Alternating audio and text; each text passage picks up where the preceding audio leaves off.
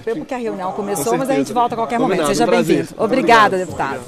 Eu conversei então com o deputado Dorgal Andrada, esteve comigo aqui para falar sobre a nova legislatura e agora a gente confere então imagens do plenário da Assembleia Legislativa em Belo Horizonte. A reunião ordinária foi aberta pelo presidente, deputado Agostinho Patrus. Vamos acompanhar.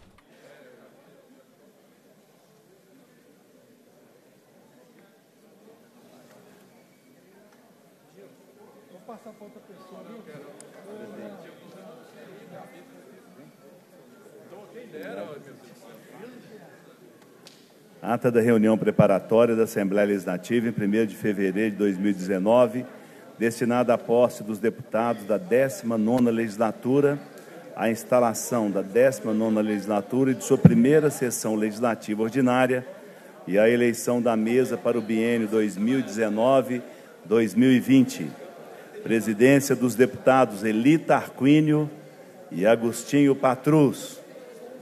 Às 14 horas e 15 minutos, a presidência declara aberta a reunião e convida o deputado Alencar da Silveira Júnior e a deputada Andréia de Jesus, eleitos e diplomados, para exercerem, respectivamente, as funções de primeiro secretário e segunda secretária. Informada a destinação da reunião, Compõe a mesa os excelentíssimos senhores Romeu Zema, governador do Estado, desembargador Nelson Messias de Moraes, presidente do Tribunal de Justiça do Estado, Paulo Brant, vice-governador do Estado, Alberto Pinto Coelho, governador do Estado no período de abril a dezembro de 2014, Antônio Sérgio Toné, procurador-geral de Justiça do Estado, conselheiro José Alves Viana, representando o Tribunal de Contas do Estado, Gério Patrocínio Soares, defensor público geral do Estado, Paulo Lamac, vice-prefeito municipal de Belo Horizonte, e vereador Altair Gomes, representando a Câmara Municipal de Belo Horizonte. E a excelentíssima senhora Sandra Goulart Almeida, reitora da Universidade Federal de Minas Gerais, registrada a presença em plenário dos senhores Romeu Queiroz e Antônio Júlio, ex-presidentes desta casa. A presidência determina seja feito um minuto de silêncio em sinal de luto pelas vítimas da tragédia ocorrida em Brumadinho. Após homenagem póstuma, procede-se a execução do hino nacional. Ato contínuo, o presidente lê o compromisso regimental e assina o termo de posse.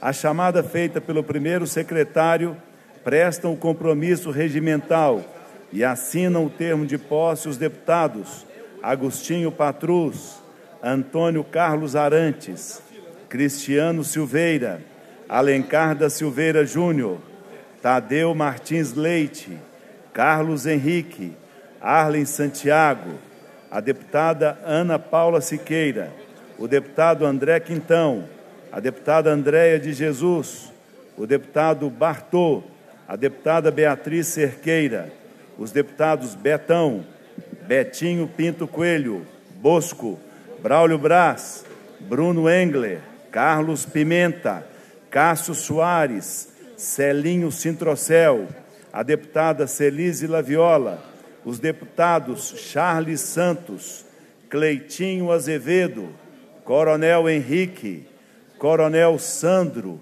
Dalmo Ribeiro Silva, a deputada delegada Sheila, os deputados Eli Grilo, Dorgal Andrada, Douglas Melo, doutor Jean Freire, doutor Paulo, doutor Wilson Batista, Duarte Bechir, Elismar Prado, Fábio Avelar de Oliveira, Fernando Pacheco, Gil Pereira, Glaicon Franco, Guilherme da Cunha, Gustavo Mitre, Gustavo Santana, Gustavo Valadares, Elita Arquínio, Inácio Franco, a deputada Ione Pinheiro, os deputados João Leite, João Magalhães, João Vitor Xavier, a deputada Laura Serrano, o deputado Leandro Genaro, a deputada Leninha, os deputados Léo Portela, Leonídio Bolsas, Luiz Humberto Carneiro, a deputada Marília Campos,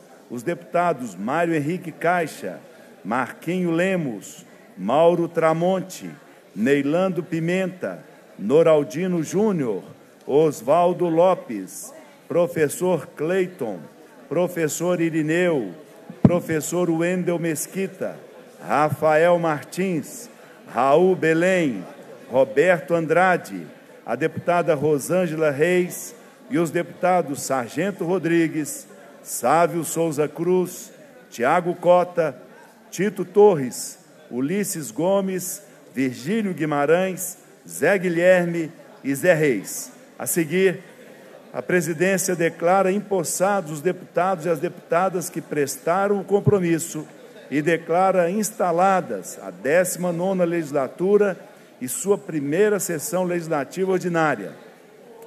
Isto posto, o governador lê a mensagem governamental e a entrega ao presidente. Nesse passo, a presidência agradece a presença dos convidados e suspende a reunião por 25 minutos, para que estes se retirem do plenário.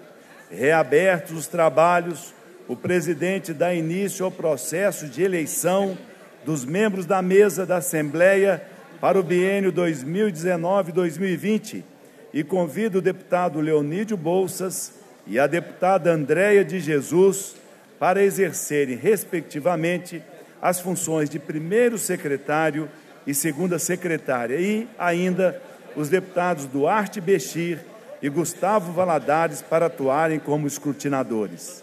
Nesse passo, o presidente profere decisão nos termos do artigo 83 do Regimento Interno estabelecendo normas complementares para o processo de eleição dos membros da mesa e informando que a votação será feita separadamente para cada cargo, por voto aberto, nos termos do artigo 55 da Constituição do Estado e por meio do painel eletrônico.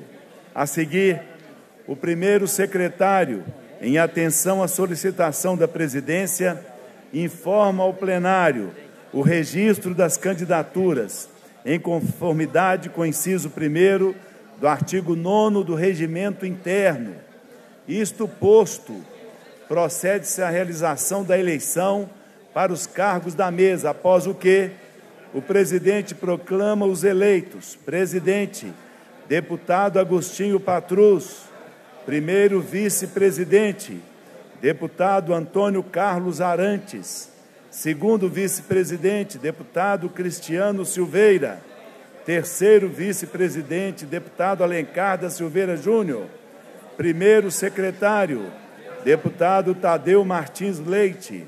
Segundo secretário, deputado Carlos Henrique. E terceiro secretário, deputado Arlen Santiago. Nesse passo, a presidência convida o deputado Agostinho Patrus para comparecer à mesa e o declara empossado. Na sequência, o presidente eleito e empossado assume a presidência dos trabalhos e convida a tomarem assento à mesa os deputados Antônio Carlos Arantes, declarando o empossado como primeiro vice-presidente, Cristiano Silveira, declarando o empossado como segundo vice-presidente, Alencar da Silveira Júnior, declarando empossado como terceiro vice-presidente. Tadeu Martins Leite, declarando o empossado como primeiro secretário. Carlos Henrique, declarando o empossado como segundo secretário. E Arlen Santiago, declarando o empossado como terceiro secretário. Ato contínuo, a presidência convida também a tomarem assento à mesa o deputado Eli Tarquínio e a deputada Andréia de Jesus, após o que profere seu pronunciamento. Na sequência, cumpridos os objetivos da reunião, o presidente a encerra, convocando as deputadas e os deputados para a ordinária de terça-feira, dia 5, às 14 horas, com a ordem do dia regimental. Levanta-se a reunião.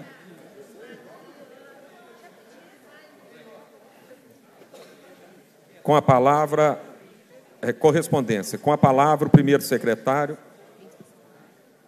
Em discussão, a ata. Pode discutir, senhor Não presidente. havendo quem sobre a mesma. Para discutir. Para discutir, deputado Alencar da Silveira Júnior. Senhor presidente, é, eu gostaria só de parabenizar a essa casa, a todo o cerimonial da casa, a Vossa Excelência, ao deputado Adal Clever, que estipulou para esse ano, nós que já estamos aqui há vários anos, sabemos as festividades que são feitas durante a posse, e nós tivemos aqui é, nada mais, nada menos do que uma, uma posse que mostra o sentimento das nossas minas, do nosso povo, da nossa gente. E essa casa, como sempre fez, vai estar do lado da população com tudo que vem acontecendo agora, senhor presidente. Então, gostaria de parabenizar a Vossa Excelência, ao cerimonial dessa casa e a todos que participaram, com muito respeito da nossa posse aqui é, para essa legislatura. Muito obrigado, senhor presidente.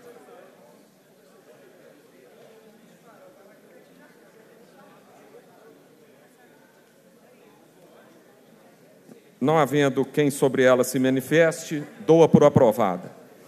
Com a palavra, o primeiro secretário, deputado Tadeu Martins Leite, para proceder à leitura da correspondência. Mensagem do excelentíssimo senhor governador do Estado, mensagem número 9 de 2019 do governador do Estado, indicando o deputado Luiz Humberto Carneiro para líder de governo nesta casa. Mensagens números 454 e 455 de 2018 e números 1, 2, 3, 4, 5, 6, 7 e 8 de 2019, encaminhando respectivamente. O veto total número 1 de 2019, a proposição de lei número 24085, que dispõe sobre o registro de dados pessoais de guardadores e lavadores de veículos no estado. O veto parcial número 2 de 2019, a proposição de lei número 24238, que altera as leis que menciona. O veto total ao número 3, 2019, a proposição é, de lei número 24158, que dispõe sobre as associações de socorro mútuo. O veto total número 4, 2019, a proposição de lei número 24.161, que altera o artigo 2 da lei número 14171, de 15 de janeiro de 2002, que cria o Instituto de Desenvolvimento do Norte e Nordeste de Minas Gerais, IDENE, e dá outras providências. O veto total número 5 de 2019, a proposição de lei número 24195, que autoriza o Departamento de Edificações e Estradas de Rodagem de Minas Gerais, DR, a doar ao Estado o imóvel que especifica. O veto total número 6 de 2019, a proposição de lei número 24200, que dispõe sobre a resposta à solicitação dirigida a órgãos da administração direta e indireta do Poder Executivo e dá outras providências. Veto total número 7 de 2019, a proposição de lei número 24201, que determina que os veículos destinados ao Serviço de Segurança e Saúde Públicas do Estado sejam equipados com dispositivo que permita sua geolocalização.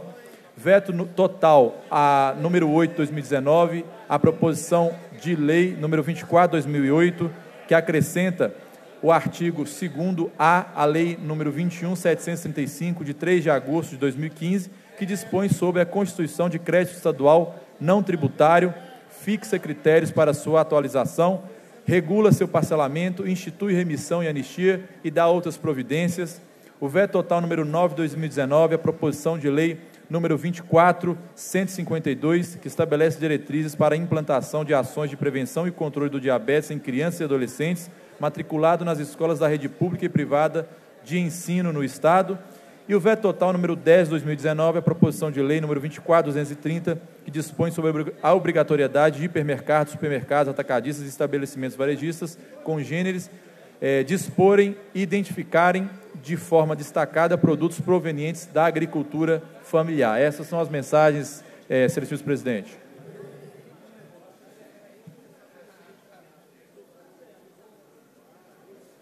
A presidência passa a receber proposições e a conceder a palavra aos oradores inscritos para o grande expediente. Com a palavra, o deputado Sargento Rodrigues.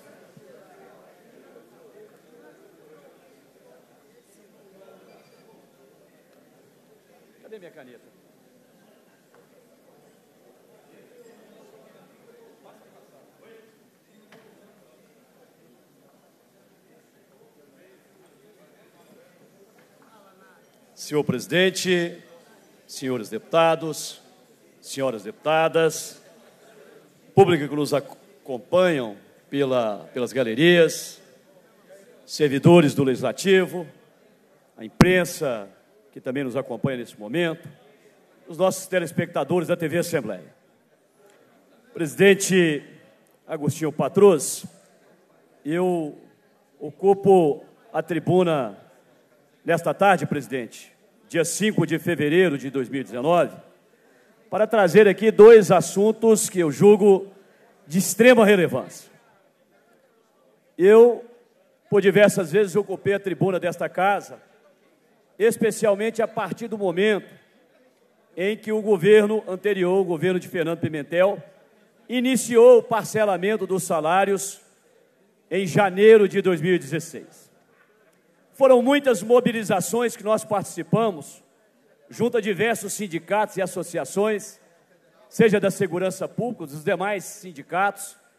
Estivemos à frente de diversas mobilizações, pressionando, protestando e cobrando do governo o pagamento do quinto dia útil, para que os, para que os nossos servidores do executivo também pudessem receber a reposição da perda inflacionária.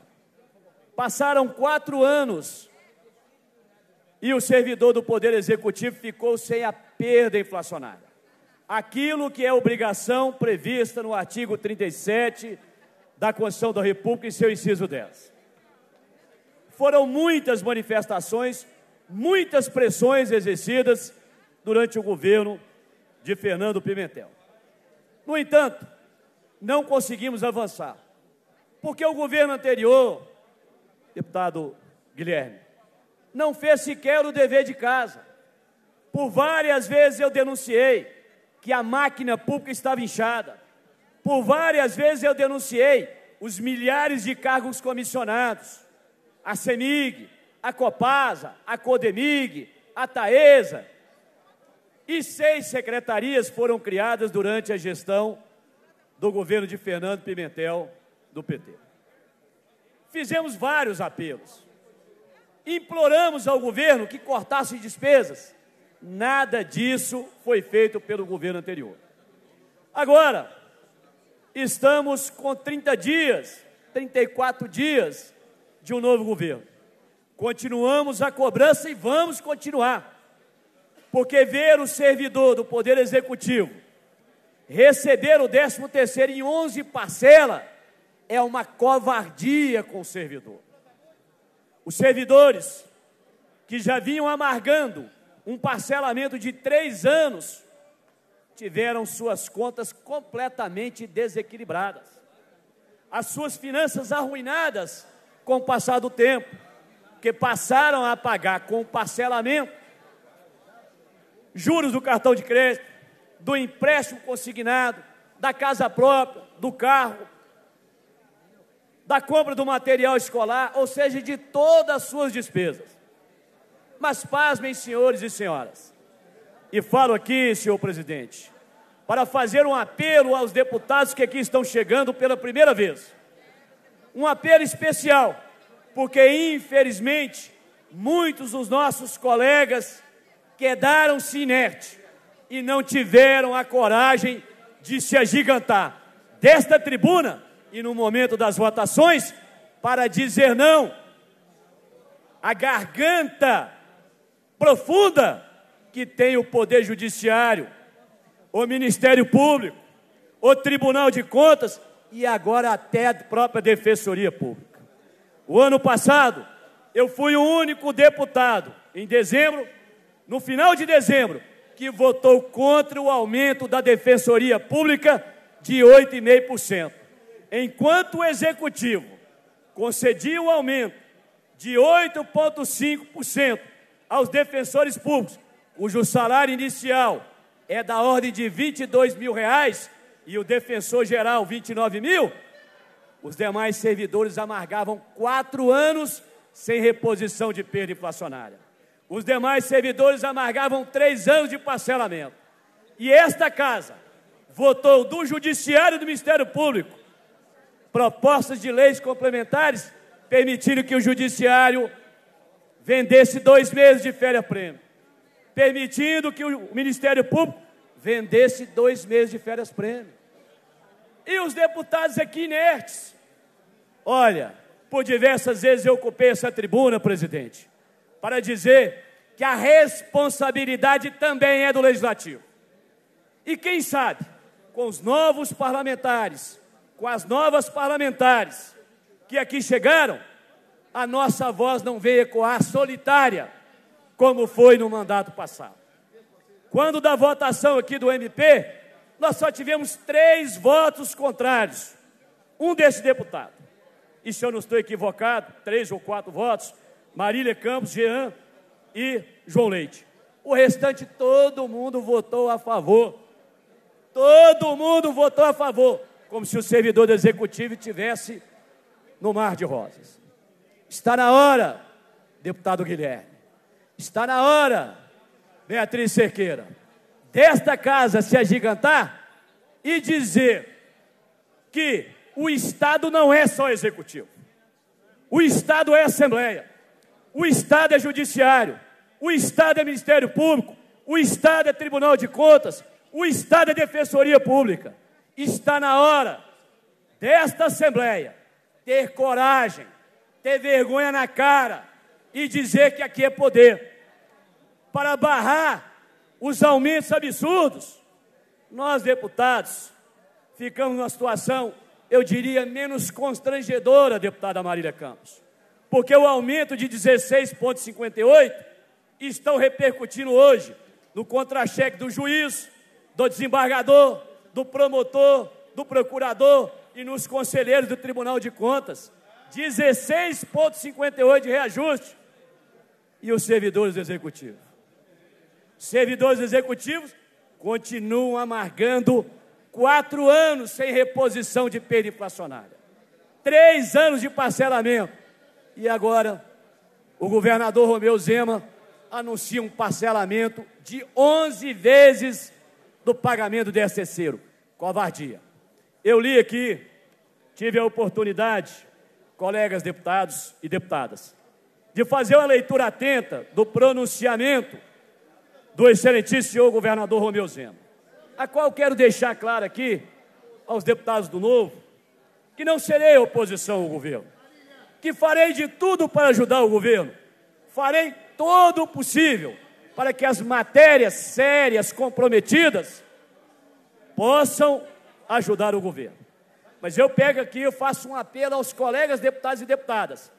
Antes de quererem, antes de quererem cortar as questões internas dessa casa, é preciso que o mesmo deputado que fala isso tenha coragem de enfrentar o judiciário, tenha coragem de enfrentar o Ministério Público, tenha coragem de enfrentar o Tribunal de Contas, porque esses vivem num paraíso, vivem numa ilha completamente diferente do poder executivo estadual. Eu quero aqui trazer aqui as falas entre aspas, do governador Romeu Zema desta tribuna, onde ele disse, abre aspas, para isso, a adesão ao regime de recuperação fiscal junto ao governo federal. Para aqueles novatos que não entenderam o que são essas palavras, isso aqui é a morte do servidor público de Minas, Geral, de Minas Gerais. É a morte certa. Recuperação fiscal é aumento de contribuição da Previdência é aumento do tempo de contribuição, é três anos de congelamento dos salários, mais três anos, é não haver promoções nas carreiras do Poder Executivo, é tudo aquilo de ruim, é o que o governador trouxe aqui. E ele fala do pacto por Minas. Eu quero fazer um pacto.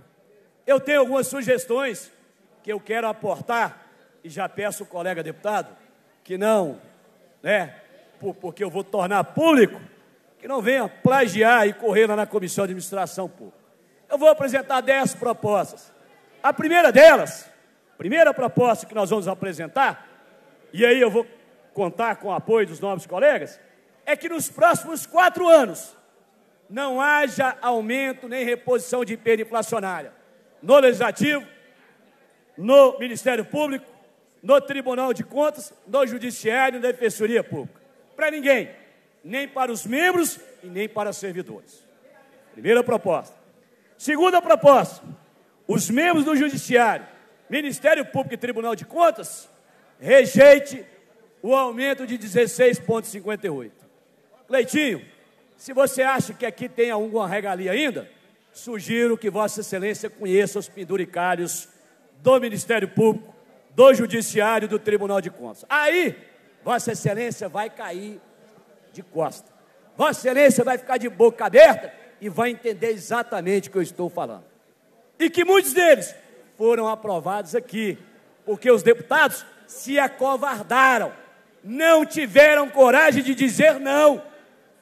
A Assembleia acovardou, ficou submissa. Quando você vê aqui procuradores de justiça naquela antessala, pode ter certeza tem algum projeto na pauta que vai melhorar alguma coisa no bolso deles.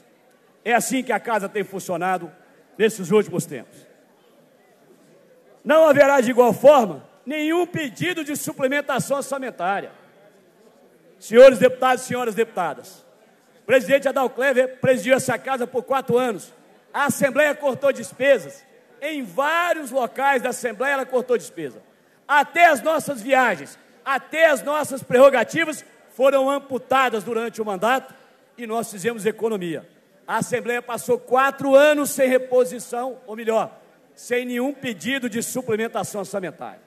Mas o Tribunal de Justiça, Tribunal de Contas, o MP e até a Defensoria Pública deitaram e rolaram no pedido de suplementação orçamentária. Ou seja, aquilo que ele tinha previsto no orçamento, eles pediram para mais. Uma vez, duas, três, quatro vezes mais vieram mensagens do governador pedindo para suplementar o orçamento desses órgãos e poderes. Aprovar aqui, eu vi algumas iniciativas e eu parabenizo, eu, nós temos uma proposta de emenda constitucional. É a PEC 53, que foi assinada por 67 colegas deputados. Essa PEC prevê fazer uma varredura em todos os penduricários do Legislativo, do Ministério Público, do Tribunal de Contas e do Poder Judiciário. É vergonhoso, é vergonhoso os penduricados que esses órgãos e poderes recebem. Concedo uma parte, o meu colega deputado, meu amigo, deputado João Leite, já que nos resta pouco tempo. Tá bem, rapidamente, muito obrigado. Quero parabenizá-lo. Vossa Excelência começa da mesma maneira dos 20 anos que Vossa Excelência já está nessa casa trabalhando firme, parabéns. Queria aproveitar essa oportunidade Vossa Excelência me dá para convidar todas as deputadas e todos os deputados para amanhã às 9h30. Nós teremos a presença do comandante do 2 Batalhão Ferroviário de Araguari, o Tenente Coronel Elton Fernandes de Andrade, e comandado pelo General Bini. É, estará aqui o nosso batalhão ferroviário para é, juntar a Assembleia Legislativa para a retomada ferroviária de Minas Gerais. Quero agradecer meu colega aqui, Coronel Henrique, que intercedeu muito com o General Bini para liderar. Então, eu queria convidar a todos, plenarinho 1, amanhã, às 9h30, nós ouviremos então o Coronel Elton, comandante do 2 Batalhão Ferroviário do Exército Brasileiro, que vai trazer as propostas. Quero agradecer a Vossa Excelência que me ajudou tanto na Comissão Extraordinária para Ferrovias e nós continuamos então colhendo os frutos. Amanhã, nove e meia, plenarinho 1, com o coronel e o general Bini. Convidar todas e todos. Obrigado. Obrigado, deputado João Leite. E só para informar os colegas deputados e deputadas, é, eu, na última, no último mandato, eu não recebi auxílio moradia. Então, eu fico muito à vontade para poder falar desses temas aqui na casa. Mas antes que qualquer colega nosso venha fazer cobranças internas aqui do próprio poder, eu quero ver se esse deputado ou deputada vai ter a mesma bravura e a mesma coragem para enfrentar os privilégios e regalias do Judiciário, do Ministério Público, do Tribunal de Contas e da Defensoria Pública. Porque é muito mais fácil, é muito mais fácil você fazer um vídeo e falar que os deputados, aqui, num passado, já tivemos um passado de muitos privilégios, hoje não. Hoje a casa está muito diferente da casa que eu cheguei. Mas eu quero ver a mesma bravura, a mesma disposição para enfrentar os membros do Judiciário, do Ministério Público do Tribunal de Contas. Só para encerrar, presidente, e agradecer Vossa Excelência e da mesma forma cumprimentá-lo, eu trouxe aqui, e caso alguém queira, está à disposição, a evolução orçamentária do Legislativo, do Judiciário, do Ministério Público, do Tribunal de Contas e da Defensoria Pública. Em nove anos, de 2011 até o orçamento deste ano, a Assembleia aumentou seu orçamento anual em 62%, Coronel Henrique. 62%. O IPCA, que é o índice, o índice oficial, ficou em 59%. Então nós acompanhamos exatamente o IPCA. Sabe quanto o judiciário aumentou? 149%. O Ministério Público, 136%. O Tribunal de Contas, 129%. A Defensoria Pública, 222%. Então, prezados colegas deputados e deputadas, antes de atacar o próprio poder, conheça um pouco mais em relação aos outros poderes. E aí sim, aí os senhores se somarão à energia que nós precisamos. Vamos sim moralizar, mas vamos moralizar os poderes e órgãos em nome dos servidores que hoje estão amargando o parcelamento e seu 13 terceiro salário. Muito obrigado, senhor presidente. Muito obrigado. Com a palavra, a deputada Beatriz Cerqueira. 15 minutos. Não, aí eu perco o controle, né? Logo no primeiro dia, pô.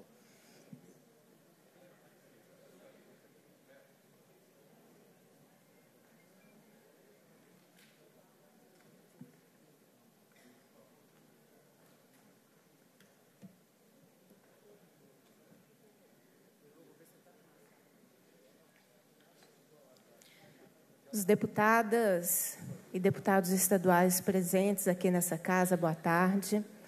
A mesa, muitos dos quais, inclusive, nós já dialogamos, debatemos, construímos importantes processos em defesa da classe trabalhadora aqui no nosso Estado, em especial da educação, que é de onde eu venho. E eu começo exatamente fazendo um cumprimento aos mais de 250, 70 mil trabalhadores em educação da rede estadual, que iniciam nesta semana o nosso ano escolar na rede estadual. Um ano, de fato, bastante difícil, cujas pautas que estão sendo apresentadas são de retirada de direitos. Eu tenho a expectativa que nós possamos fazer desse espaço, que a Assembleia Legislativa, um lugar do debate, do seu conteúdo, e que nós possamos não fazer o caminho único, como foi apontado aqui na sexta-feira no discurso do governador Romeu Zema. Existem vários caminhos, existe de quem tirar. E o que não pode acontecer é que a gente retire daqueles que já sofrem há bastante tempo com a crise econômica e com todas as crises que nós enfrentamos. Mas o que me fez, o que me motivou a fazer a inscrição para nossa primeira, para o nosso primeiro plenário, é o crime cometido pela Vale em Brumadinho. Essa segunda-feira, vários deputados apresentaram, alguns deputados apresentaram requerimentos para a instalação da comissão parlamentar de inquérito. E eu trago esse debate porque o que nós estamos vivendo, enquanto nós nos reunimos nessa casa, existem centenas de famílias que ainda esperam que os seus familiares sejam encontrados para que possam velá-los, para que possam enterrá-los, porque talvez nem isso as famílias tenham direito. É inexplicável como uma mineradora constrói o seu refeitório, constrói o seu ambulatório e a sua área administrativa na porta da barragem. CPI da mineração, ela se torna essencial, das mineradoras se torna essencial porque a Vale não é a única que subjuga as comunidades e a população aos seus interesses econômicos. Nós, eu participei ontem de uma audiência pública promovida pela Prefeitura de Sarzedo. E nessa audiência, a comunidade estava em desespero diante das barragens existentes no município da Itaminas. Estou apresentando à mesa diretora requerimentos pedindo informações, porque depois de ouvir a Itaminas durante a audiência com a comunidade, nós concluímos que não tem plano de emergência. Se as barragens romperem em Sarzedo, não existe nenhum plano de emergência para a população, que são no mínimo sete bairros atingidos. Lá não tem plano de evacuação, de realocação das pessoas. Não tem plano de segurança para os trabalhadores que trabalham ali na barragem a serviço da mineradora. Foi apresentada, foi feita uma inspeção que nós queremos ter acesso qual é o resultado da inspeção feita recentemente nessas barragens e que problemas essas barragens estão apresentando. E, fundamentalmente, é necessário que as mineradoras compreendam que onde elas atuam existem, existem pessoas e comunidades que precisam ser ouvidas. Então, eu estou apresentando a casa, a mesa e vou apresentar diretamente à mineradora esses pedidos de informação o plano da empresa para acabar com as barragens, porque foi dito que ela fará, então nós queremos saber o plano, em quanto tempo isso será feito. Além do plano de emergência, de realocação da comunidade em caso de rompimento de barragem, plano de emergência e esse relatório da última inspeção. Eu saí de Sarzedo muito assustada, porque processos que começaram depois do crime da Vale, lá em Mariana com rompimento da barragem de Fundão, não foram concluídos. As sirenes, essas famosas sirenes que nunca tocam quando as pessoas precisam ser alertadas, também em Sarzedo ainda não existem para alertar as pessoas. Então, faço um apelo para que a gente consiga fazer dessa CPI das mineradoras o lugar para que nós possamos fazer a apuração dos crimes cometidos pelas mineradoras no nosso estado. Aproveito também para fazer o registro de que nesse momento mais de 600 famílias em São Joaquim de Bicas, no acampamento Pátria Livre, estão sem água e sem assistência da Vale, porque neste local passa o rio Paraupeba. Então é necessário que a água seja fornecida, porque a responsável é a Vale com o crime cometido em Brumadinho e com toda a sua extensão. Quero, em segundo lugar, trazer a preocupação com a reforma da Previdência anunciada pelo governo federal. Eu já apresentei o um requerimento para que nós façamos um fórum técnico de debate da Previdência dos servidores, porque a minha primeira leitura do que vai ser essa reforma é uma reforma que privatiza o direito à Seguridade Social, porque Previdência faz parte da Seguridade Social. É uma reforma que traz homens e mulheres para a mesma idade de aposentadoria, e nós sabemos que as mulheres trabalham mais do que os homens em atividades não remuneradas, e é por isso que existe a diferença entre homens e mulheres na aposentadoria.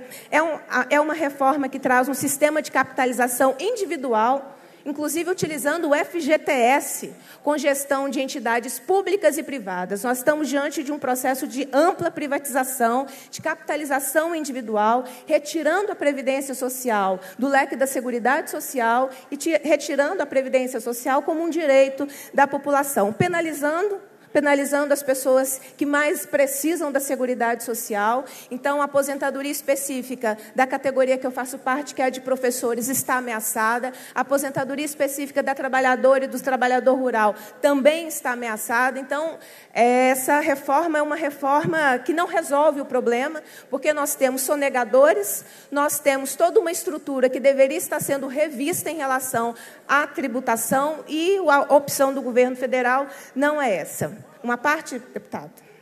Primeiramente, deputada Beatriz, falar que é um prazer ter a senhora aqui nessa casa. Tão aguerrida, nós já conhecemos o seu trabalho há muito tempo, então seja bem-vinda. Cumprimentar todos os colegas também que são novatos, tomara que tenhamos uma legislatura de ainda mais força aqui na Assembleia Legislativa. Quero me solidarizar também com todos da cidade de Brumadinho, falar do quanto nós também estamos sentindo essa tragédia e que essa casa, assim como a senhora já fez, não deve medir esforços para procurar não só os culpados, mas também para que outros inocentes não passem pelo que Brumadinho passou.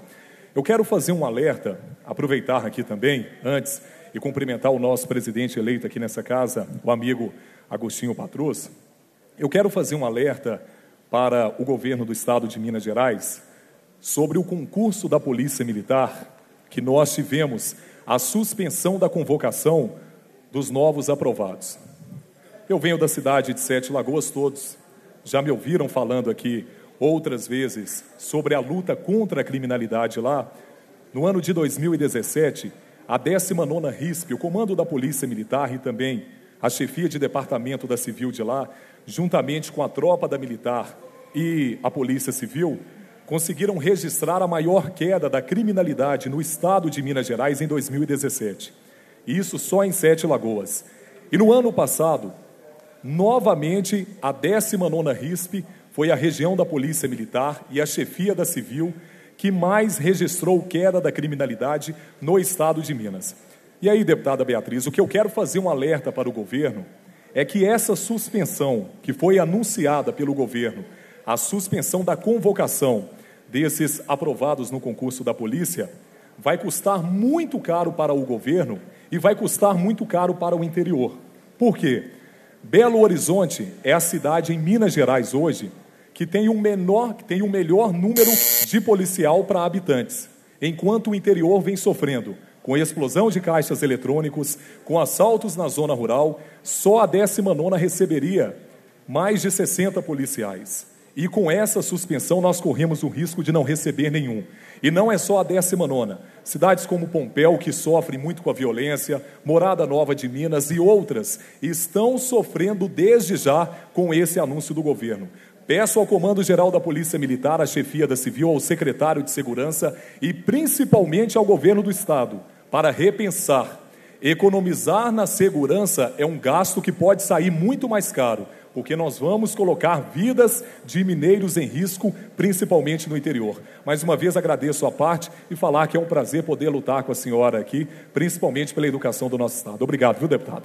E considerando é, esse, essa semana, que é o início do nosso ano escolar, eu quero agradecer aos deputados que possibilitaram que nós pudéssemos apresentar duas propostas de emenda à Constituição que serão muito importantes para o funcionalismo público. Quando a gente vem para cá e faz o debate de representatividade, não é mera retórica, a gente vem com tarefas que precisam ser cumpridas. Então, na segunda, ontem, nós pudemos protocolar a PEC do quinto dia útil, é esse o nome que nós estamos batizando. Eu agradeço os deputados que contribuíram para que isso fosse possível, exatamente para que nós possamos trazer para esta casa o debate da importância do funcionalismo receber em dia.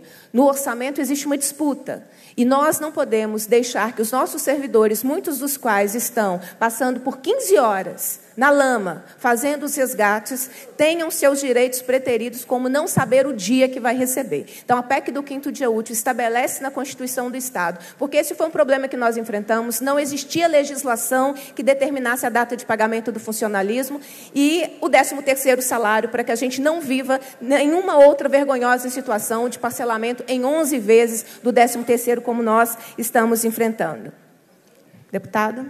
Obrigado, Quero desejar, deputada Beatriz Cerqueira, boas-vindas a essa casa, bem como as outras deputadas, né, de forma especial, e os demais deputados que ingressam aqui conosco. Desejar muito êxito nos trabalhos e registrar aqui rapidamente que o tempo realmente é curto nesse momento, mas simplesmente desejar muito êxito, sucesso e dizer que tem meu total apoiamento em todas as matérias relacionadas aos direitos dos servidores. Isso é um compromisso público que eu tenho assinado, da mesma forma o deputado federal Elton Prado, da Senado em cartório, que nós não aceitamos jamais nenhuma retirada de direitos né, que foram conquistados com tanto trabalho, com tanto sacrifício. Não admitimos retirada de direitos e faremos a defesa intransigente de todos os direitos dos nossos servidores, tanto os trabalhadores de educação, bem como todas as outras categorias de servidores do Estado de Minas Gerais. Desejar boas-vindas, deputada Beatriz, e conte comigo, que já subscrevi aí seus projetos, assinei, e vamos dar o apoiamento também, seja na tramitação nas comissões, bem como aqui, quando tiver né, no plenário, na pauta do dia. Parabéns, deputada. Conte conosco. Obrigado. Agradeço, Elismar. Agradeço também, deputado Douglas. E é exatamente com esse pedido que eu termino, que nós possamos, na medida em que as comissões se constituírem, ter a celeridade de tratar uma questão fundamental, que é a vida dos servidores públicos. O salário deles em dia é extremamente angustiante você começar o mês sem saber que dia você vai receber e qual é a parcela do salário que você vai receber. Essa indefinição, ela é ela é terrível e trazendo para essa casa o debate para que nós possamos fazer é, essa disputa que é fundamental e cuidar daqueles servidores que fazem a tarefa e desempenham o papel em nome do Estado. Porque para cometer o crime, aí foi a iniciativa privada, foi o rompimento de uma barragem cuidada pela iniciativa privada. Mas quem está lá cuidando da população são os servidores públicos, sejam eles estaduais, sejam eles municipais, sejam eles da União. Daí a importância dos servidores públicos na estrutura e na prestação de serviços à população. Eu termino é, fazendo um segundo pedido. Ainda em Sarzedo ontem, eu soube ah, do enorme empenho, porque tenho acompanhado a atuação do Corpo de Bombeiros em Brumadinho, mas soube também que não foi identificada corretamente qual é a quantidade da toxicidade da lama ao qual eles estão submetidos. Então, acho muito importante, eu vou apresentar essa solicitação à mesa para que nós possamos acompanhar o trabalho do Corpo de Bombeiros, inclusive no cuidado à vida dessas pessoas que estão lá. E registro, para finalizar, meu lamento pela morte da ativista Sandra Bittencourt. A ativista Sandra Bittencourt colheu, coletou denúncias contra o João de Deus e criou um movimento combate ao abuso no meio espiritual. Ela exerceu um ativismo fundamental Faleceu no último sábado, no dia 2, mas deixou uma enorme contribuição para todas nós mulheres fazermos as denúncias sobre os abusos sexuais que acontecem em vários locais. Como nós defendemos a vida e nenhuma vida a menos, todas vidas são importantes. Eu termino fazendo esse registro e lamentando que a Sabrina Bittencourt tenha nos deixado depois de contribuir de forma de forma fundamental, para que homens que violam o direito das mulheres e que violam seus corpos sejam sempre expostos e sejam sempre investigados e possam responder pelos seus atos criminosos. Desejo que nós tenhamos uma boa legislatura, que nós cumpramos o papel do poder legislativo e que não venha nenhum outro poder dizer qual deve ser o papel dessa casa. Essa casa é plural, com a representatividade de cada um daqueles que trouxeram os seus votos e a opinião da população mineira. Muito obrigado, deputada Beatriz Siqueira. Agora com a palavra, deputado doutor Gian Freire.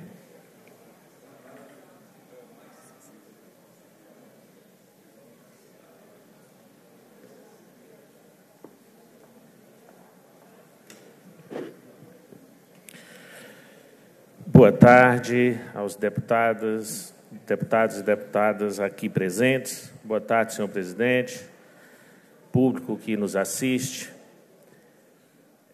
aos telespectadores da TV Assembleia, aos todos os servidores dessa casa. É, muito obrigado por nos acompanhar sempre. Eu não canso de dizer que o corpo técnico dessa casa é sem sombra de dúvida, o melhor cortejo das assembleias do país. Senhor presidente, me lembro que há quatro anos atrás, ainda no meu primeiro discurso aqui, um pouco nervoso, fazendo o primeiro discurso aqui nessa casa, mas não deixava de ser um momento de muita felicidade, de muita festa. Na nossa posse, hoje. Deveria também assim ser um momento de muita felicidade. Mas eu tenho certeza, e é isso que espero de cada colega, de cada homem público, de cada mulher, de cada um que suba aqui tem sensibilidade, acima de diferenças partidárias, ideológicas, é que tem um sentimento para permitir que a tristeza nos tome parte nesse momento, devido ao crime, que nós temos que dar nome, sim, ao crime, e eu, como homem público, não poderia tomar aqui esse espaço e não deixar externado a minha indignação, a minha indignação com o crime ocorrido em Brumadinho vem se repetindo com o crime ocorrido em Mariana, com tantas vidas levadas, Poderia ser diferente. Nós poderíamos acordar no dia a dia, ligar os telejornais, chegar em casa à noite, assistir o telejornal, deputado Marquinhos, e não ter que ir contabilizando as mortes, que a cada dia vai se concretizando mais no caso de Brumadinho. Então, que isso. E eu fiz questão de assinar todos os pedidos de CPI. E é importante que ele dê entrada e que seja efetivo, que essa casa realmente abra uma CPI para discutir, não simplesmente Mariana, Brumadinho, mas toda essa ganância do poder econômico em toda a região, em todo o estado, e que a Câmara dos Deputados tome também essa posição a nível federal. Dói na gente ver que a cada dia mais querem ocupar espaços e achar que o que existe de mais precioso e mais rico está debaixo da terra. Não é de verdade, deputado Cleitinho. O que existe de mais precioso e mais rico está acima da terra. São as vidas, são os homens e mulheres que nela vivem. E nós corremos os riscos, nós corremos o grave risco, deputada Leninha, de ver os índios terem que sair de suas terras para procurar para que os outros procurem ali embaixo, vão tirar o que eles julgam ser o mais precioso. Esse é um momento crucial e funda fundamental, deputado João Vitor, para se discutir isso, para que nós possamos esquecer diferenças ideológicas partidárias e pegar o que nós temos de comum. Porque não é possível que essa situação não deixou indignado a cada um de nós. Eu cresci vendo o meu rio, o rio Jequitinhonha, ter o seu leito revirado de um lado e para o outro, à procura de diamantes. Ainda hoje é assim.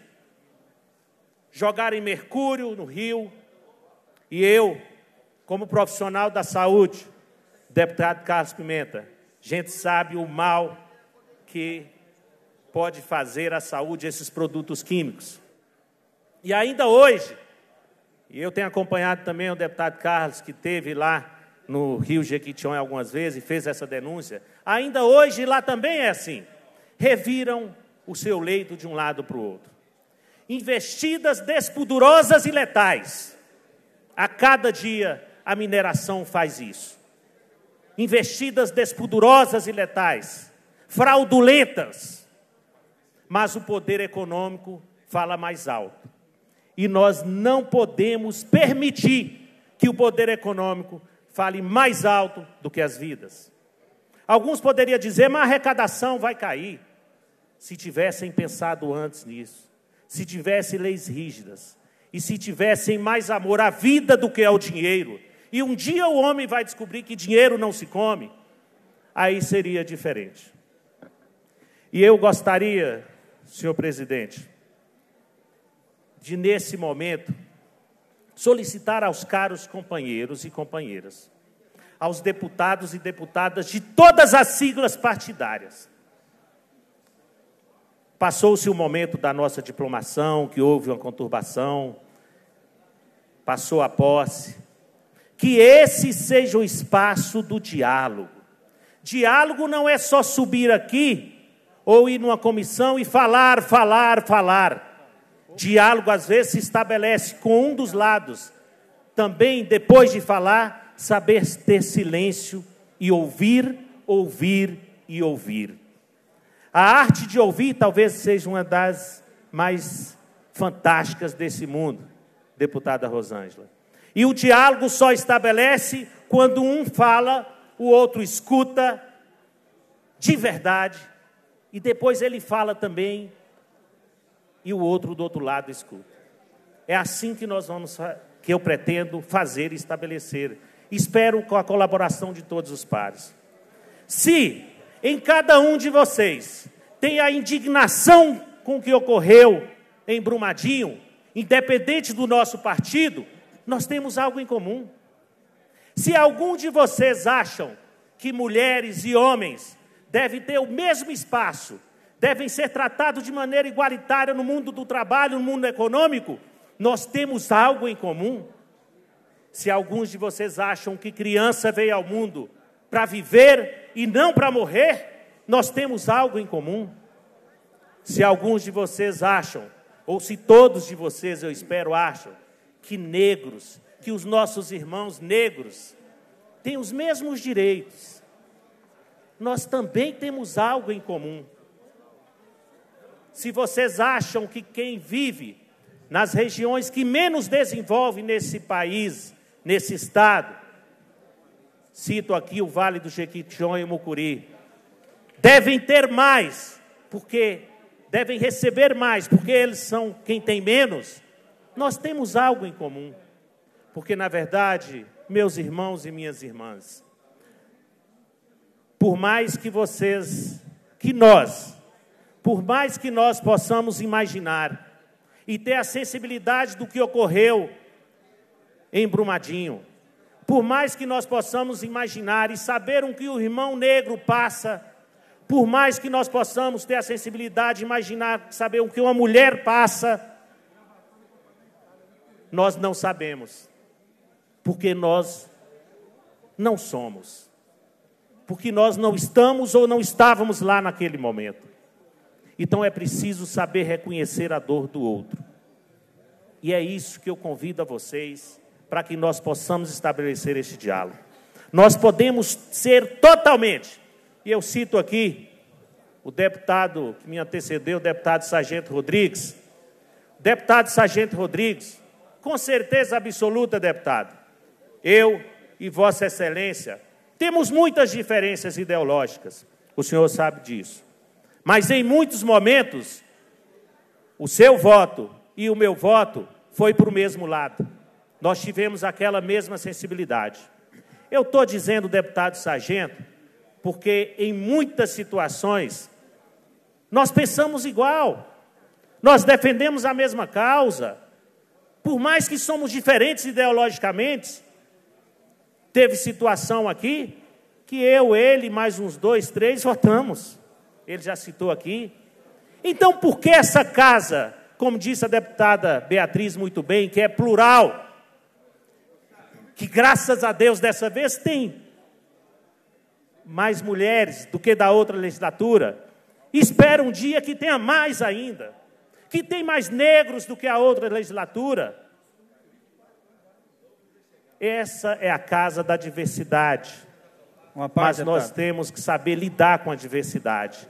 E é isso que eu quero pedir, antes da parte do deputado Desmar, que nós saibamos fazer aqui nessa casa.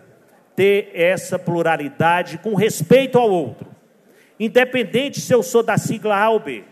Porque o que nós temos que exterminar, deputada Marília, é o preconceito, é o ódio, é a ganância pelo dinheiro.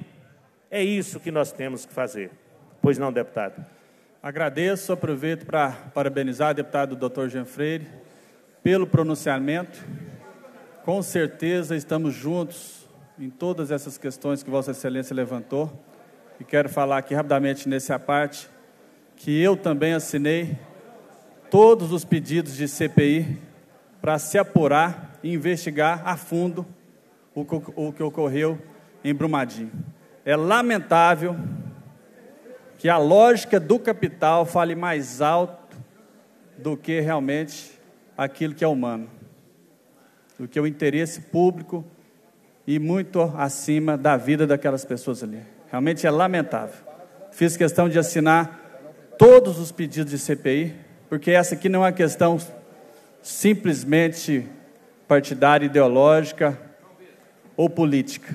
A gente está tratando aqui da vida de muitos seres humanos. Isso é fundamental que seja apurado também por essa casa. Porque o, o que ocorreu ali, deputado Jean Freire, em Brumadinho, não foi um acidente, nem tampouco apenas crime, foi genocídio, foi assassinato. Isso precisa ser muito bem apurado. Ora, já concluindo, eles alegavam que né, o modelo das barragens era o de alteamento a montante. Ou seja, isso nada mais é do que bloquear os rejeitos com os próprios rejeitos. Simplesmente porque era mais barato, era mais econômico. Isso é lamentável, é lamentável e não tem palavras aqui para realmente expressar o que significou aquilo. Né? Eu acho que essa casa precisa fazer a sua parte, cumprir o seu papel. Por isso fiz questão de assinar todos os pedidos de CPI para que se possa apurar de maneira profunda, né, para que se possa ter as punições também adequadas e que isso jamais venha ocorrer aqui em nosso estado e também no país. Parabéns, parabenizo Vossa Excelência pelo pronunciamento e contem conosco nessas questões e todas as outras, né, que diz respeito à luta por justiça, por direito, por dignidade, por democracia e pela defesa intransigente do povo de Minas Gerais. Parabéns, deputado Jean Freire. Eu quero aqui, por último, senhor presidente, nós que fizemos aqui o juramento em respeitar a Constituição brasileira e mineira, eu quero aqui reafirmar o meu compromisso em lutar pelos que mais precisam, em lutar pelas mulheres, em lutar pelas diversidades, em lutar pelos negros, em lutar pelas regiões que menos desenvolvem nesse estado de Minas Gerais. É evidente que cada um chega aqui representando algumas bandeiras, algumas regiões. Todos nós somos deputados de todo toda Minas Gerais. Eu trago comigo a luta, além da luta de Minas Gerais, do povo do Vale do Jequitinhonha e do Vale do Mucuri. A defesa da água, a defesa da nossa mãe terra. Porque se tivessem mais carinho com a nossa mãe terra, seria diferente. Todos aqui têm mãe biológica. Alguns já perderam a mãe biológica e conseguem viver sem ela. Nenhum de nós conseguimos viver sem a nossa mãe terra. Reafirmar o meu compromisso em lutar para sanar e acabar com as mazelas que sempre teve com o Vale do Jequitinhonha e o Vale Mucuri. Quero citar a inacabada obra da BR 367, que dentre algumas cidades que ela deveria passar asfaltada, no caso de Chapada do Norte, chega só terra. Uma das poucas cidades de Minas que só chega terra, que não chega asfalto. Talvez, senhor presidente, talvez, caros colegas, deputados e deputadas, porque lá 92 da população, 92% da população é negra. E nós estamos sempre questionando se isso não é racismo institucional.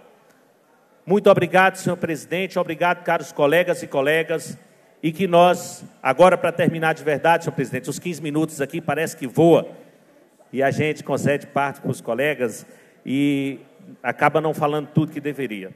Mas, meus caros amigos, deputados e deputadas, do fundo do meu coração, vamos estabelecer aqui o diálogo. Para aqueles que acreditam em Deus, saibam que o mesmo Deus que habita em cada um de vocês é o mesmo Deus que habita em mim. O meu muito obrigado. Muito obrigado, deputado Jean Freire. Com a palavra, o deputado João Vitor Xavier.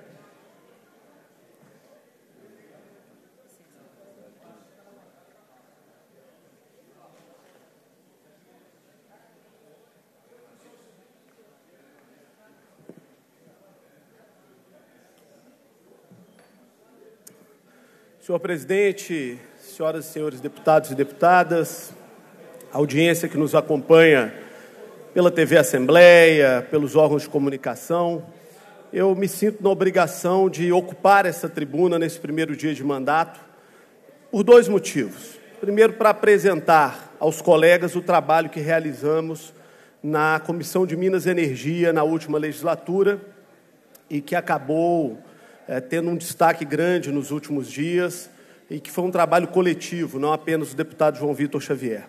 E segundo, para tratar desse assunto que nos é muito importante, que é a questão é, da barragem de Brumadinho e dessa nova tragédia, desse novo crime cometido contra a nossa sociedade.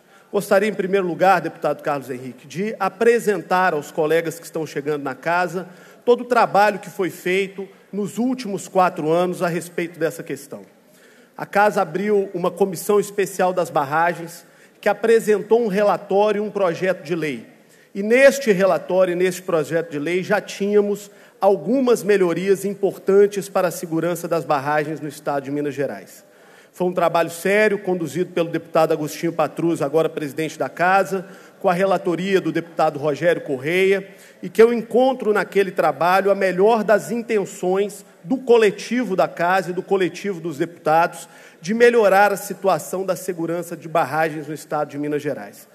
Durante esse período de tramitação do projeto, chegamos a um momento que esse projeto chegou em nossa comissão, da qual eu tinha a responsabilidade de presidir naquele momento, e que tivemos uma manifestação pública clara do Ministério Público do Estado de Minas Gerais e de 52 ONGs de atuação ambiental, além do IBAMA, através da sua superintendência no Estado de Minas Gerais, de que o projeto que naquele momento chegava na Comissão de Minas e Energia não atendia todas as demandas de segurança para as barragens no Estado de Minas Gerais. E foi por isso que nos debruçamos para construir um projeto que pudesse, com a melhor das intenções, atender a demanda, a demanda do nosso Estado. Não é um projeto do deputado João Vitor Xavier, Mauro. Não é um projeto de um deputado. É um projeto que foi construído dentro desta casa com a participação de muitas forças. Com a participação, por exemplo, do Ministério Público do Estado de Minas Gerais, deputada Marília. Nós tivemos o prazer de, durante oito meses, conviver com os promotores que cuidaram do caso de Mariana e de absorver todo o conhecimento que eles tiveram, de aprendizado com aquela tragédia de Mariana, para apresentar soluções para aquilo que eles encontravam como problemas para a mineração no estado de Minas Gerais. Tivemos a oportunidade, nesses oito meses, de acolher todas as sugestões que foram apresentadas pelo IBAMA do estado de Minas Gerais, através do seu superintendente. Tivemos a oportunidade, nesses oito meses de trabalho, de dialogar com 52 ONGs que representam movimentos de atingidos, movimentos de moradores do entorno de barragem, de movimentos ambientais, de movimentos sociais. Foram 52 ONGs participando. participação direta da sociedade e da comunidade. E tivemos uma oportunidade de contar com um trabalho que foi primoroso e brilhante da equipe técnica dessa Assembleia a assessoria da Assembleia e o corpo técnico que me foi disponibilizado pelo presidente Adalclever Lopes nos deu uma contribuição enorme para a construção desse projeto.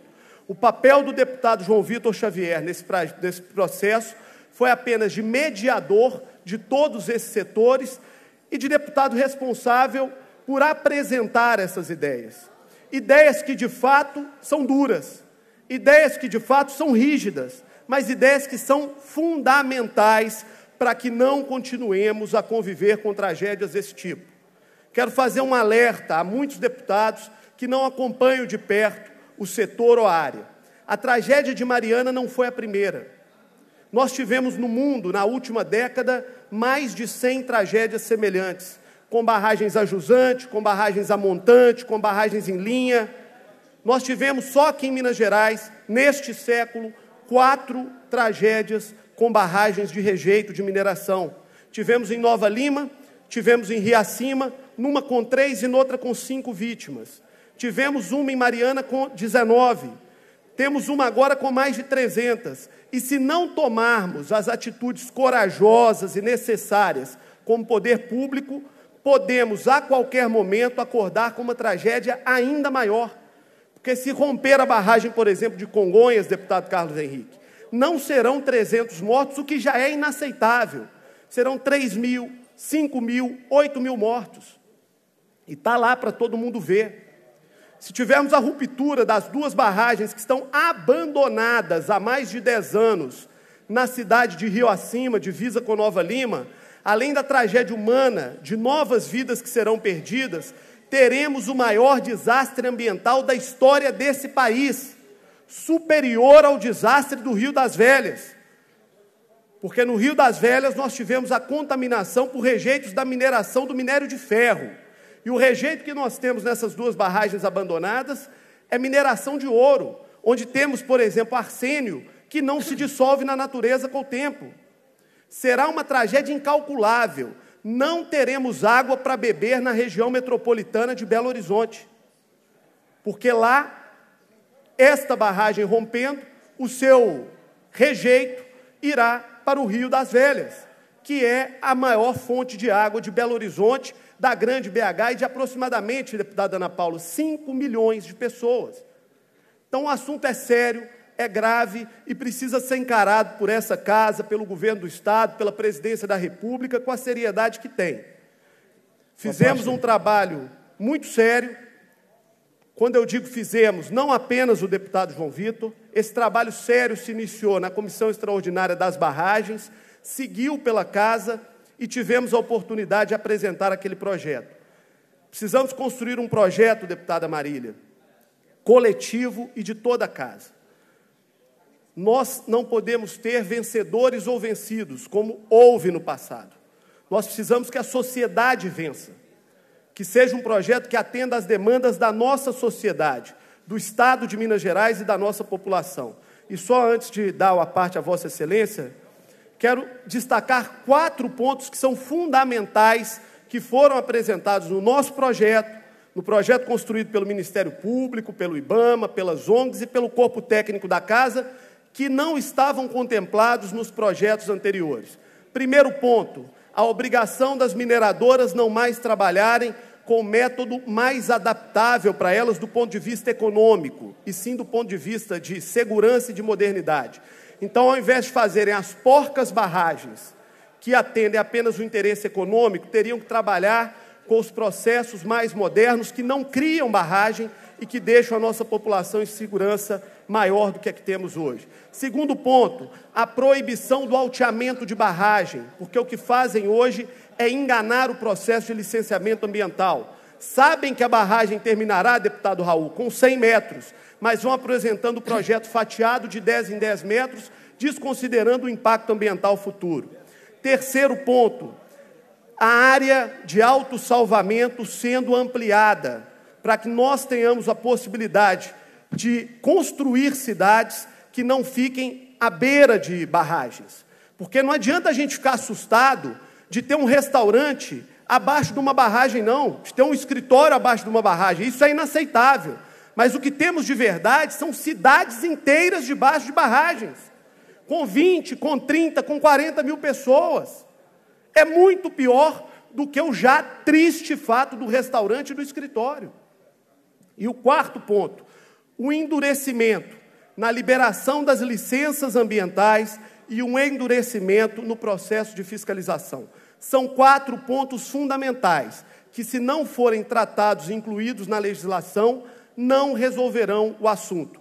E, além disso, exigir do governo que, dentro dos processos que teremos jurídicos daqui para daqui para frente, obrigue que todas as barragens do Estado sejam descomissionadas, porque se elas não forem esvaziadas, nós continuaremos convivendo com esse tipo de tragédia no Estado de Minas Gerais. Esse é um desafio coletivo de todos nós, num processo onde não precisamos, não poderemos e não deveremos ter vencedores ou vencidos, em que o vencedor deve ser o povo de Minas Gerais e que a Assembleia deve fazer o seu papel coletivo para apresentar o melhor possível à nossa sociedade. Passo a palavra ao deputado Carlos, Carlos Pimenta. Pimenta. O, meu caro João, primeiro também quero lamentar o que aconteceu em Brumadinho. E o mesmo sentimento que nós estamos vivendo aqui, nós vivemos há quatro anos atrás, com a barragem Mariana, um dos maiores, uma das maiores catástrofes que nós tivemos no meio ambiental. Essa casa fez uma comissão especial para apurar a questão de Mariana. Várias reuniões, promotores, o pessoal que veio lá de Mariana, criou-se uma expectativa, e eu sou capaz de, de apostar que o único projeto que gerou de tudo isto foi o projeto que Vossa Excelência apresentou. Infelizmente, ele foi apresentado no apagar das luzes da, da, da, da, da legislatura passada. É importante que Vossa Excelência represente este projeto. Está representado. Nós temos que discutir a exaustão esse projeto. Nós temos várias catástrofes em Minas Gerais, João. não é só da, dos rejeitos minerários, não. Na nossa região, região do norte de Minas, e nós temos aqui seis representantes daquela região, nós estamos sofrendo talvez a maior devastação que Minas já teve, não de uma forma aguda, como aconteceu em Brumadinho, que são os, as, as, termina, as plantações intermináveis de eucalipto, os plantadores criminosos de eucalipto do norte de Minas. São milhões de hectares tira a vida de milhares de pessoas no decorrer das décadas. Então, nesse processo de discussão, eu quero adiantar, peço a Vossa Excelência que nos ajude. Se Vossa Excelência ficar na comissão, vai ser muito importante para que a gente possa discutir as barragens, é, incluindo todos esses pontos que Vossa Excelência é, sabiamente está aqui relatando e vai ter o nosso apoio incondicional, mas também discutir esse crime que se comete contra a região do norte de Minas, que hoje é um deserto verde. Milhares de, de hectares plantados de eucalipto, levando à desgraça, levando à pobreza e levando né, essa, esse sofrimento todo para o norte de Minas. Parabéns, João. Muito obrigado, deputado, e eu colocarei meu nome à disposição do meu bloco, a quem eu agradeço, porque na última legislatura, se pude fazer o trabalho que fiz, foi pela indicação do meu bloco e pelo apoio do presidente dessa casa, a deputada Adal Clever, que teve a coragem de nos dar essa oportunidade. Então, passo a palavra para o meu amigo, deputado Mauro Tramonte, com quem tenho o enorme prazer de conviver a partir de hoje também nessa casa. Seja bem-vindo e parabéns pela histórica votação e que é de todo merecimento pela sua biografia. Obrigado, João Vitor. Muito obrigado pelo carinho. Olha, eu quero dizer que eu concordo com tudo que você falou. Você pode contar comigo no que for preciso. Eu gostaria também aqui de destacar que nós entramos com um projeto também de lei, João Vitor, que proíbe aí a construção de barragens de rejeito de minério pelo método de alteamento e montante em aterro hidráulico do Estado de Minas Gerais. Inclusive, dando é, aqui as barragens de rejeito que já existem, né, que utilizem esses métodos, deva ser extinta no prazo de dois anos. E mais, também aqui no artigo 3 nós colocamos que as barragens de rejeito de minério, ainda que sejam construídas por outro método, deverá respeitar a distância mínima de 10 quilômetros de uma área habitada. Então nós temos que juntar força mesmo para isso. Hoje é isso, hoje nós temos que fazer isso, porque Minas Gerais não aceita mais esse tipo de coisa. Chega, foi no limite. Nós não queremos ver, como você disse aí, barragens que podem estourar e matar 3, 4, 5 mil pessoas. Então você está no caminho certo, pode contar conosco. Muito obrigado, um deputado. Quero destacar para Vossa Excelência que estamos com sintonias de ideias, porque esses itens apresentados no projeto de Vossa Excelência eles também são contemplados pelo projeto que havia sido apresentado. Antes apenas de passar para a deputada Marília, quero trazer aqui o apelo do prefeito de Mariana. A cidade de Mariana teria direito a pelo menos 30 milhões de reais dos, das multas ambientais que foram apresentadas à Vale. Até o dia de hoje, nenhum real foi pago para Mariana. A situação de Mariana hoje é extremamente preocupante e eu trago aqui o apelo do prefeito Duarte Júnior para que o governo do Estado repasse a Mariana os seus direitos dentro desse processo de multas que a Vale recebeu. Deputada Marília Campos. Deputado João Vitor, queria parabenizá-lo pela intervenção. Eu fui participante da Comissão Especial de Barragens como suplente e por diversas vezes tive a oportunidade de participar ou de audiência pública ou de visitação em Mariana de forma que eu conheço um pouco de todo o trabalho que foi feito pela comissão, inclusive as contribuições que, na minha opinião, avançaram em relação à normatização do processo de licenciamento ambiental. Também tive a oportunidade de estudar o seu projeto que foi apresentado, que é um projeto mais amplo, porque ele trata-se de uma política de segurança né, nessa questão é, é, do licenciamento ambiental, uma política estadual para o setor minerário. Então, eu acredito que avança ainda mais e certamente teremos oportunidade de debater os dois projetos e fazer o que for melhor para o nosso Estado. Queria ter liberdade de incluir, dentro das suas prioridades, a defesa daqueles que são atingidos por barragem. Não é que geralmente são, geralmente não, são vítimas pessoas que sofrem em função, seja da atividade minerária, da ausência de amparo. Então, acho que era muito importante a gente avançar numa política de defesa dos direitos daqueles que são atingidos em suas cidades. Obrigada. Muito obrigado, deputada Marília. Para encerrar, presidente Antônio Carlos, quero agradecer a solidariedade de tantos colegas que me procuraram nos últimos dias para tratar do assunto, me colocar à disposição para o debate amplo, republicano, com todos eles dizer que essa é uma construção que tem que ser da casa e do parlamento de forma coletiva, que ela é necessária e que ela nos dará a oportunidade de corrigir muitos problemas para o futuro do nosso Estado. Talvez seja o grande desafio que esse parlamento tenha para os próximos quatro anos. Muito obrigado, presidente. Muito obrigado, deputado João Vitor. Agora, com a palavra, palavra a deputada Beninha, que, devido ao adiantado da hora, vai ter nove minutos para encerrar esta oito minutos agora.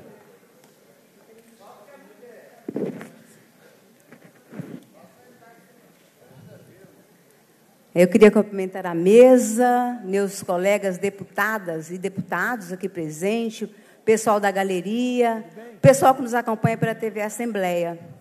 Bom, é eu fico muito feliz de estar aqui nessa casa, que para nós significa um ambiente da democracia, do bom debate e, acima de tudo, é, do respeito e da cordialidade. Devemos aqui construir pactos e alianças para que o debate flua e que a gente junto possamos de fato construir política para o nosso Estado. Saímos de um momento de polarização política, sociedade dividida, país e Estado dividido. E essa casa vem sendo vigiada por todos aqueles que querem mudança na política, principalmente na política mineira. Muitos que aqui vieram sabem o árduo caminho que construíram para chegar até aqui. Eu, particularmente, vindo da periferia, eu, particularmente, mulher negra, como a Andréia, como outras mulheres que estão aqui, mas muitos de nós que têm uma história muito semelhante, sabemos o quanto que foi depositado em nós a certeza de fazer um jeito novo na política mineira. E aqui a gente traz o povo dos Gerais, os quilombolas, os índios, os vazanteiros da beira do São Francisco. E aqui a gente traz muita demanda, muito lamento e muito apelo, mas acima de tudo o compromisso. Primeiro dia que nós chegamos aqui na posse, eu fiquei triste ao ouvir, se não me engano, o sargento Rodrigues dizer assim: aproveite que essa casa vai estar cheia só hoje. Essa casa fica cheia na posse. E infelizmente, nós que estamos chegando, e os que aqui estão, que têm compromisso não só na construção democrática, mas na proposição de política, na fiscalização e no controle social, sabem que nós devemos ocupar este espaço nesse debate, nesse diálogo e nessa construção coletiva. E eu não vou repetir, mas não tem jeito de não falar do crime da Vale em Brumadinho, não tem jeito de não falar, como o Carlos Pimenta disse, do caso de Mariana, que até hoje, pessoas indiciadas em uma prisão, o deputado que me antecedeu falou também né, das reparações, falou dos danos, falou né, de tudo que a Vale vem fazendo nesse estado. E a gente sabe que o modelo de desenvolvimento econômico em Minas Gerais, nos últimos anos, foi baseado na atividade minerária. Na atividade minerária, que tem um baixo custo de produção, mas que ameaça e coloca em risco a vida das pessoas, o meio ambiente e a sobrevivência deste país. Não poderia deixar de falar dos corpos que estão soterrados na lama, que é fruto de um afrouxamento de política ambiental, mas mais do que isso, de um monitoramento que fosse capaz de prevenir crimes como o que aconteceu em Mariana e o que aconteceu em Brumadinho. Nós não podemos nos calar e não podemos somente consternar e ficar sensibilizados, todos nós aqui falamos da mesma coisa, e daqui a pouco a gente esquece o assunto, a gente não apura, a gente não monitora e a gente não constrói política. Por isso é importante, minha gente, pensar no desenho do sistema ambiental do Estado de Minas Gerais, pensar qual que é o papel que a SUPRE tem que cumprir, qual que é o COPAN, a SUPRAN, todo esse desenho que nós temos em Minas Gerais, no sentido da gente rever não só a legislação e não fazer só CPI para apurar, porque nós temos muita tarefa a fazer com relação a essa questão da atividade minerária. É lógico que isso nos preocupa, porque já vivemos uma crise que deve se aprofundar em termos de arrecadação. Então, pensar o modelo de desenvolvimento econômico do Estado de Minas Gerais significa pensar outras formas de economia, economia popular solidária, economia invisível, pequenos empreendimentos, São coisas que, a, a princípio, parecem não afetar e não dinamizar as economias do Estado, mas são essas economias que nós acreditamos que é viável, que é possível, e são essas economias que nós queremos também debater aqui. Como moradora né, do norte de Minas, atuante no semiárido mineiro, que inclui o norte e o vale, eu não poderia deixar de falar da questão da água, que, além de afetar mais de 20 cidades, a alta turbidez da água, a contaminação de metal pesado, que corre o risco, inclusive, de chegar no São Francisco, que é um rio que não só passa em Minas Gerais, mas que abastece todo o semiárido brasileiro. O rio Paraupeba, que muitos daqui de Belo Horizonte já disseram que em períodos críticos de escassez de água, ele abastece Belo Horizonte. Então, nós estamos falando de danos ambientais gravíssimos. O Rio Doce está aí, um rio morto. E agora nós estamos em vias, né, além do Paraupeba, com contaminação de rejeito metal pesado no Rio São Francisco.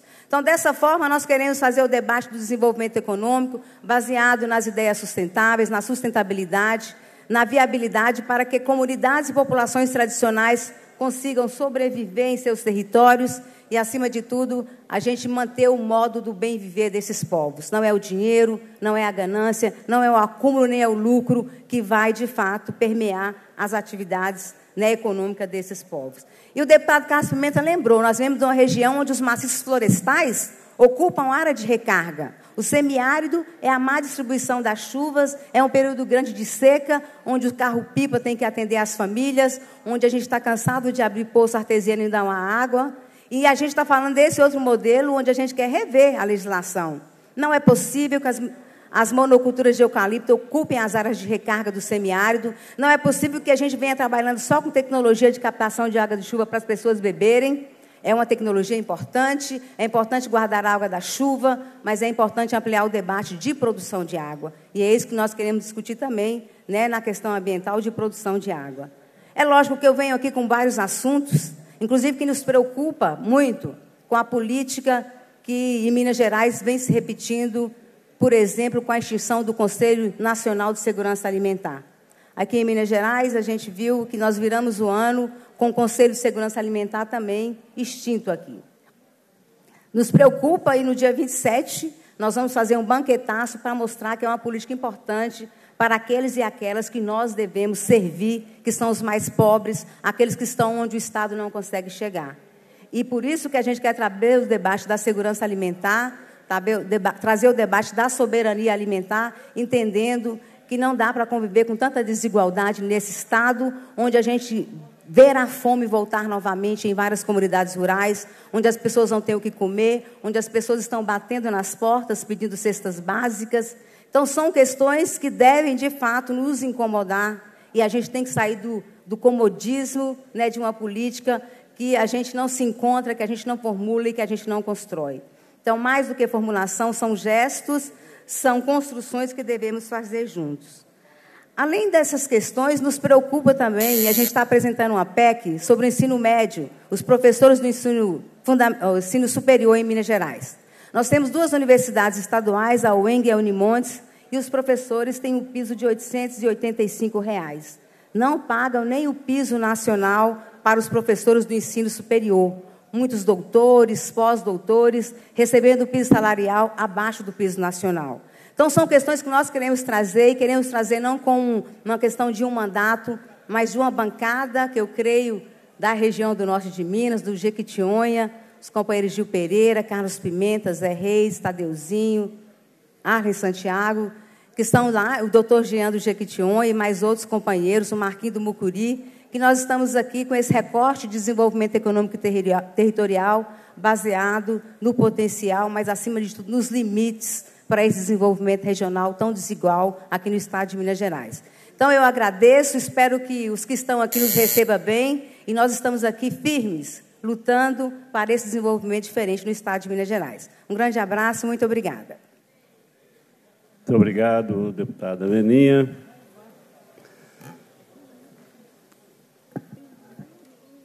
Ordem do dia, primeira o presidente, esgotado o prazo destinado à primeira parte, a presidência passa à segunda parte da reunião. Com a primeira fase da ordem do dia, compreendendo os atos da presidência, as comunicações e a apreciação de pareceres, requerimentos e indicações. Estão abertas as inscrições para o grande expediente da próxima reunião. Então, tem alguns deputados que se inscreveram, pode reescrever para amanhã, como aqui o coronel Sandro, inclusive. É, comunicações. Os deputados Rafael Martins, Oswaldo Lopes e Zé Reis comunicam suas filiações ao Partido Social Democrático PSD. Ciente publique-se.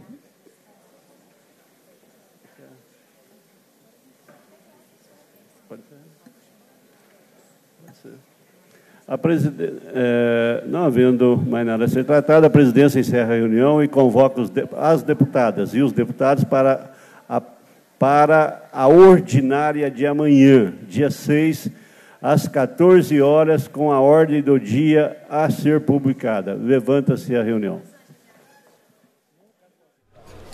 Você acompanhou aí o primeiro vice-presidente, deputado.